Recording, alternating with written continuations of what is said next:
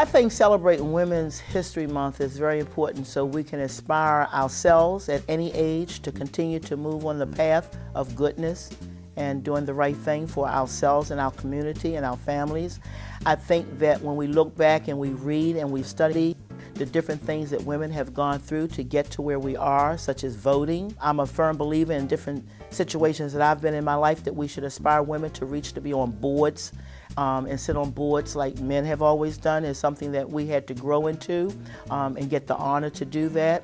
Um, so I think that when we talk about